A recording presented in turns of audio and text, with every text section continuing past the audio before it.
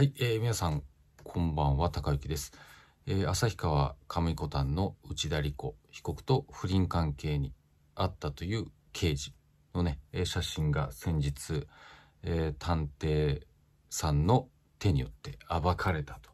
いうことで動画をアップさせていただいて、えー大変ね、皆さんご視聴いただいてですね、様々な声が上がっているところでございます。そして今日ですね、えーとんでもないまた情報がね、えー出ましたね。ニュースサイトハンターというですね、ニュースサイトがあるんですけども、えーそこでですね、え小笠原さんっていう記者の方がですね、探偵の方をですね、取材してですね、え聞いた内容が載っているんですけども、そこにとんでもない内容が載っておりました。調査によると、警察官らは飲食の場で職務質問や取り調べを受けることがあったらこういう対応をなどというアドバイスを被告女性に与えていたという、というですね、えー調査の聞き取りがあるんですよ。これ、どういうことかというと、その不倫デカが、えー内田理子被告に、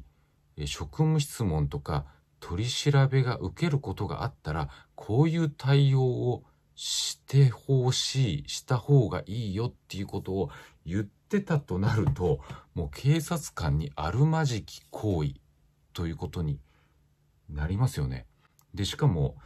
もう内田理子被告は旭川界隈では有名な女半グレで、薬物大麻も扱っているというような噂があるような人物に、こんなこと言ったらダメでしょ、明らかに、刑事が。とんでもないですね。で、このニュースサイトでは、えー私が見たこともない写真が載ってて、このような写真なんですけど、気持ち悪い。裸でなんか、お腹とか胸とかつままれてるんですけど、ここにいるの、いらっしゃるのみんな刑事さんみたいですけど、大丈夫でしょうか？そしてですね、えーもう一点なんですけども、えー先日のね、あの、TikTok で公開された、あ戸塚探偵のね、プした映像の中に、名刺がね、何個も出てたと思うんですけど、その中になかった名前があるんですよ。K っていうイニシャルなんですけど、その K 刑事は、19歳の女と肉体関係にあった。っていうふうに私聞いてるんですよ。で、その K 刑事は、そのスナック、カラオケバーに名刺を置かないぐらい慎重だったのか。っていうことですよね。